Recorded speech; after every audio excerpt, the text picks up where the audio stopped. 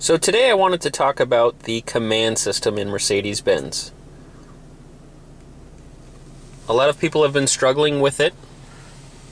Um, this is the central display where we can control navigation, audio, phone, video, and system settings. Comand stands for cockpit management and data. And it is controlled via this Comand controller. This Comand controller we can turn like a dial we can slide it forward, back, left, and right. And we do also have a back button along with a clear button. So in this review, we will talk about using this controller. And again, when I uh, refer to forward, I'm meaning clicking up, back, or down, and again left, right. And we can also depress the wheel again along with turning it like a dial. So as you can see, the navigation I like to think of it as in three separate parts. The top menu, navigation, audio, phone, video, and system, those will never change. Those are your five main categories. The middle portion of the screen is what I refer to as the content, and below that is what I refer to as the sub menu. So when you are in navigation, for instance, you do have guide, traffic position, and destination. And by toggling back and forth, simply all I am doing is just turning the wheel. And for instance, if I want to go from the bottom submenu to the middle content, I just slide the wheel forward or up. Uh, that'll get me to the full screen. I can depress that, and that'll show me a complete full screen of the map. Otherwise, click the button one more time. That'll bring me back to this main menu mode. So again, if I want to go up to where it says navigation, audio, phone, video, and system, click once to get to the middle portion, and click again up and that'll take me to navigation, audio, phone, video, and system. And again, just by turning the wheel, I'm toggling from those five different choices. So for instance, if I want to go to audio, simply click down on audio. It'll take me to where I was in audio last, which happens to be the FM player.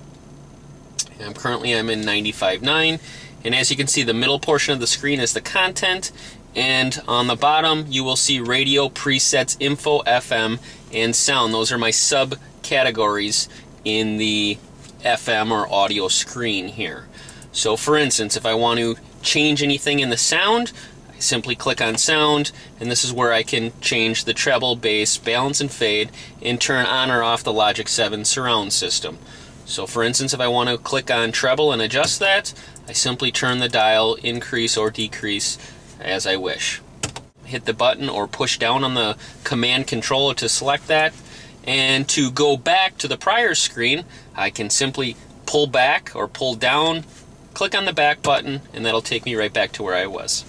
As you'll see, we are currently in the audio screen. Um, and as you'll see on the top, the audio screen is depressed, and you will see that little triangle that means I'm in audio, but if I click on audio again, that'll show me all the different audio sources.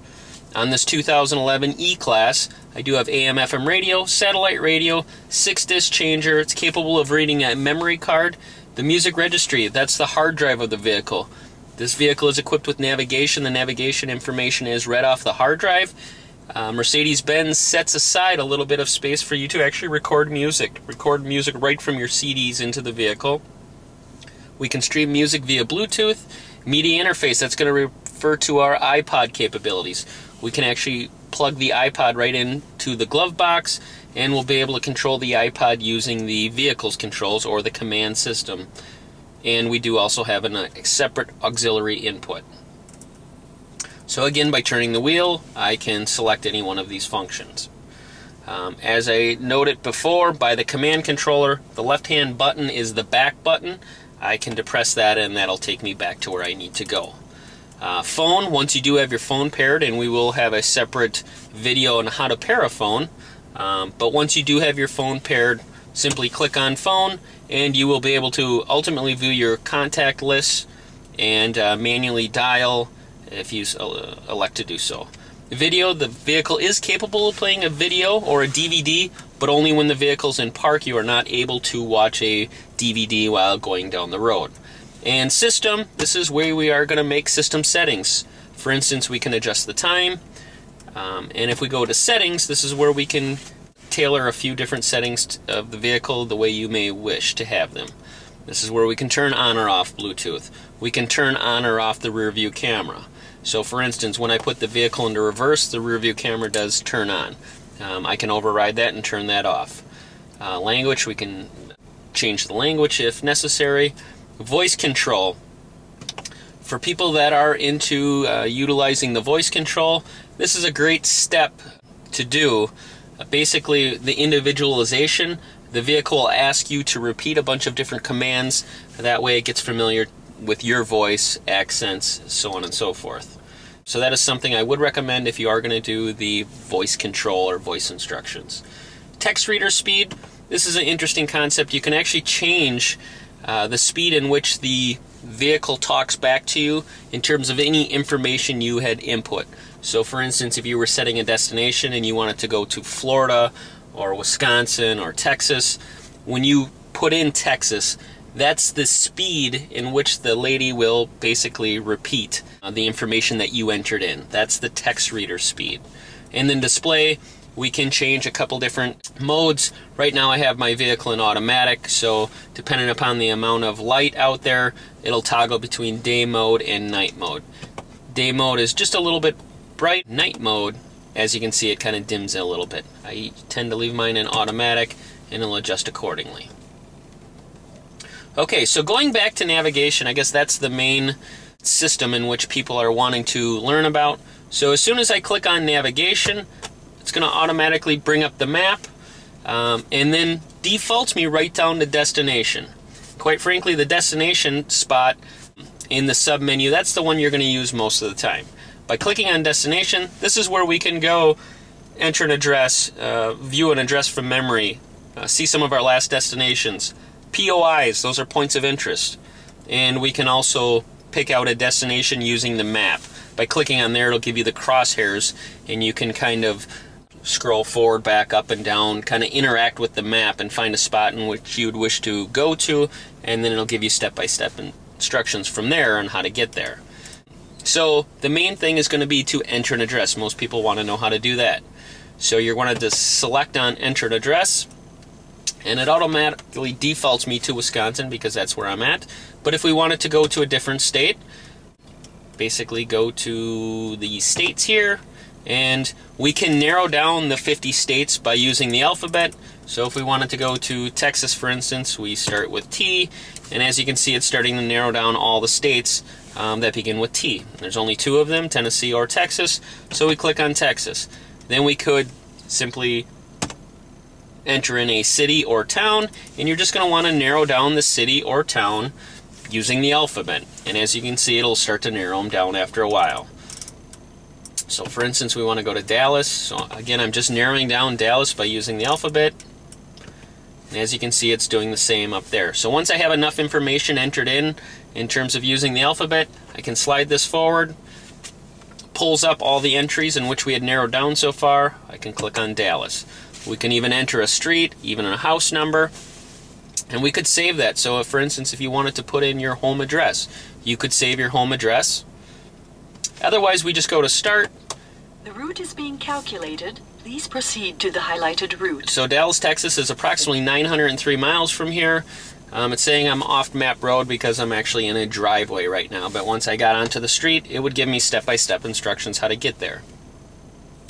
Uh, interesting thought too is if you want to adjust the gal's volume, the the voice in which is giving you the instructions, you can only adjust her voice when she is talking to you. And if you want to mute her voice, you can mute her voice by hitting the mute button only when she is talking. If you want to cancel the destination, simply click down, go back to destination, and you want to cancel route guidance. Guide, traffic, and position here in Wisconsin, not utilized a whole lot. Guide is going to search for any points of interest. As you can see, there is nothing available on the map. Traffic is going to show you any traffic messages. That is only done via the Sirius satellite radio signal. Um, I currently do not have satellite radio activated in here, so I am not going to get any traffic information. And position, we could save the vehicle position in which we are currently at. But again, talking about the under the destination subcategory, the other main category I like to talk about is the points of interest. We can search for a point of interest in a number of ways. The two most popular ways would be from our current position. So where the vehicle is currently at, we can search for a point of interest, such as uh, airport, amusement park, uh, ATM machine, beach, border crossing. You can see it as we're toggling through there. So for instance, if I wanted to find the nearest hospital, I click on hospital, and from my current position, it is searching for the nearest hospital. As you can see, Appleton Medical Center uh, gives us the address, the phone number. If I had my phone out here and paired, I could simply call, or otherwise I can hit start, and that'll give me step-by-step -step instructions how to get there. By hitting the back button, I'm just going back to the prior menu. And the other way we can search for a point of interest is from other city. So if you knew you were going to be taking a trip, and you could type in that specific city. Let's say we were going to visit uh, Milwaukee here in Wisconsin. So again, just narrowing down Milwaukee using the alphabet. So once I get enough in there, it already prompts me, so Milwaukee is up there. And so now, even though I'm in Appleton, Wisconsin, I can search for a, let's say, a exhibition center. And in Milwaukee, it looks like the Midwest Airlines Center, the Marcus Center Performing Arts, the Bradley Center. So again, just another way of searching for a point of interest.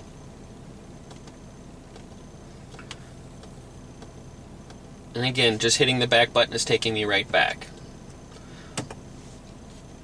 Hopefully this video was helpful and we will try to get more out there in terms of audio functions. I'd really like to touch on the music registry along with pairing uh, some of the popular phones.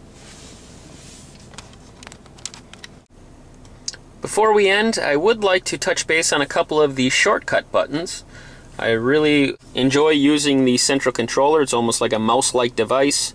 Uh, once you do get accustomed to it, it is very easy to use, almost like a computer mouse. Though we do have some shortcut buttons, as you will see right on the dash. You will see radio, disk, navigation, telephone. This is our mute button, system. That is how we'll get to the system settings up in the Comand display. So again, by hitting system, it takes me right there. And then we do have the phone end button and the phone send button.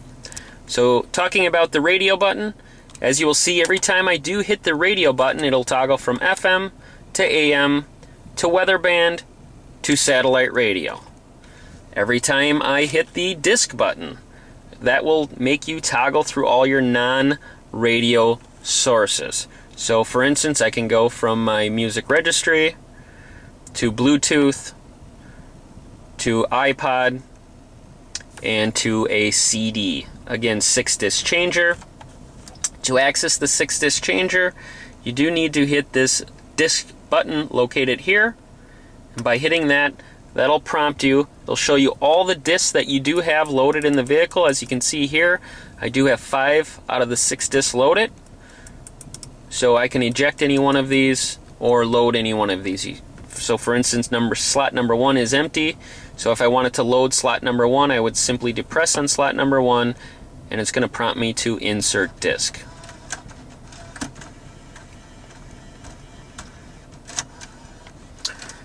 Again, navigation will take you right to the navigation screen, and telephone will take you right to the telephone screen. These are some nice shortcuts to use. And as you will see, the keypad. The keypad not only can be used when you are in the telephone screen as a normal keypad, but when you're in your radio mode, for instance, if you're in the FM mode, now you do have 1 through 0, basically 10 presets for FM. If you're in AM, you do have 10 separate AM presets. And if you're in satellite radio, you do have 10 separate satellite radio presets. And if you are in the disk mode, buttons 1 through 6 will refer to the six different discs that you do have in.